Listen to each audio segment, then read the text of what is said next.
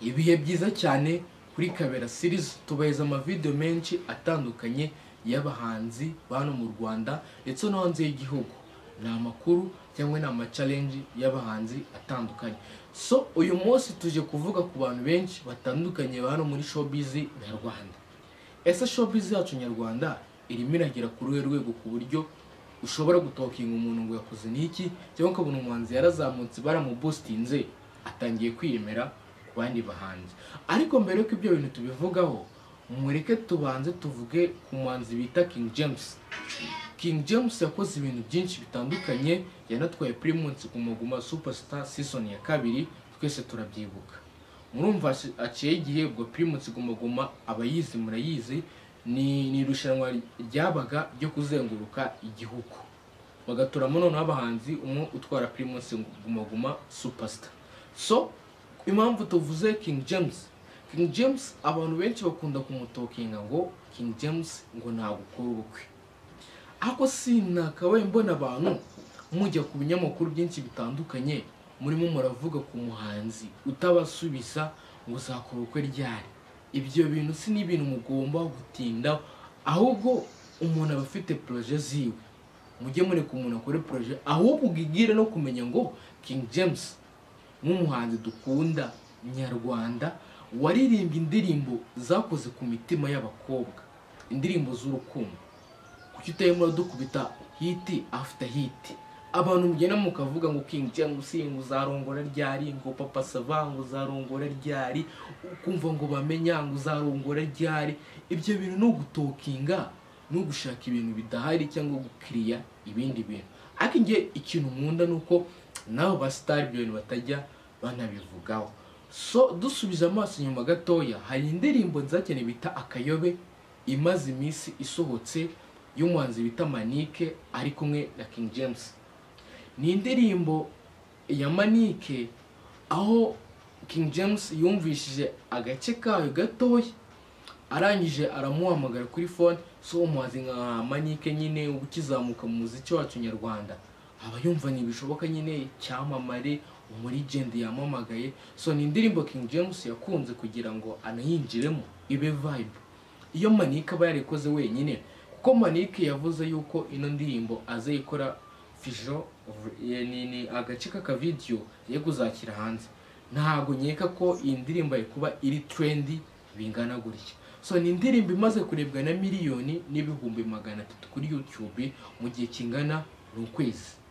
Ni indirimbo irimo iratitiza imbuga zitandukanye hano iwacu mu Rwanda.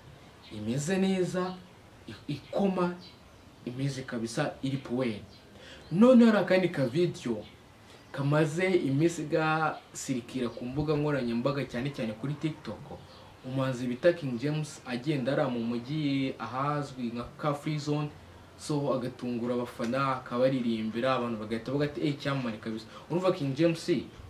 Kakana nyine ntabwo twari tukamumenyereyeho so ni indirimbo nziza cyane munyene mu supporting manike muyizamure ikomeze igire n'ama viewers menshi.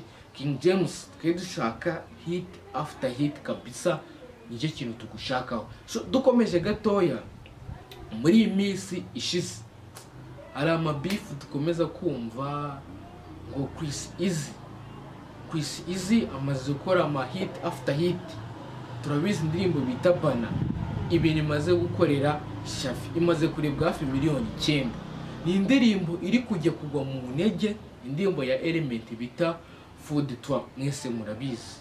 So hari hari n'ifoto murimo murara muri video uh, umuhanzi bita shafi yasize kuri community kuri youtube channel yiwe avuga ati uyu ashimira Junior Giti ngo uyu muntu nyine ni uhatari murimo murayireba. So ni indirimbo yafashe shafi kuzamura platform ziwe agatwika bya hatari hari n'indirimbo nziza cyane na yo yari kuri platform ya The Ben. Yamaze kuyigarura kuri channel yiwe. Indirimbo kabisa na yo imeze neza ya Shafi yakoze kera. Abantu benshi nabonye batiraho comments ngo Shafi ngo hano ngo yarananutsemo ukuntu so ni indirimbo yasohotse kera kabisa mwese murayizi. Iyi ndirimbo yari yasohotse kuri platform ya The Ben kabisa. Noneho aha hari ababloga batandukanye. Ku kintu twavugaga ngo umuntu bita ngo ku isi gukora hit after hit agatangira kwiyemera ku bantu. Ni amagambo yavuzwe Chris Easy bamutuka kuri live ya Dumba yari yatumiyeho umukinnyi wa filime bita Kiramani ariho ba Titi Brown n'abandi benshi batandukanye. So umudumba ya, ya, ya, yavuze kuri Chris Easy avuga ngo aho yari ari muri leta zunze ubumwe ah, muri canada. Aho yari muri canada arimo aritemera imiti ngo bagiye gukora planka y'iriya ndirimbo kugira ngo izamuke. Ariko birangije Chris Easy amaze kugera ku rundi rwego atangira kwiyemera ku banzi benshi batandukanye. Dumba yamubwiye amagambo menshi pe asebetse. Namwe murimo muragenda muyumviramo gake gake kabisa. Urumva ni amagambo sinzi nyine tu ntabwo ashimishije kuyumva ariko murabizi ni showbiz yacu hano mu rwanda. Ntabwo byabura kabisa. So ese koko niba bino bintu ari ukuri birakwiye ko Chris izi nk'umuntu umaze gufata hiti hano mu gihugu cyacu cyo mu rwanda ko yirya ku bantu bamuzamuye? Ibyo bintu koko namwe birakwiye? Muri komenti muraza kutubwira ibyo bintu niba bikwiye kabisa. So ibyo bintu kuko bibaye ari byo nanjye ntabwo nashyigikira umuziki wacu nyarwanda ko iyo umuntu amaze kugera hejuru yiyemera kuba yasize inyuma cyangwa ku bamuzamuye. Uwo bita dumba yamusabye korabu kirisizi nyine asa nk'uwinangiramo gake gake ariko biba biri hagati yabo. Ariko ntabwo wajya gutuka umuntu akura kuri live umubwire kuriya. Biriya bintu atari byo kabisa.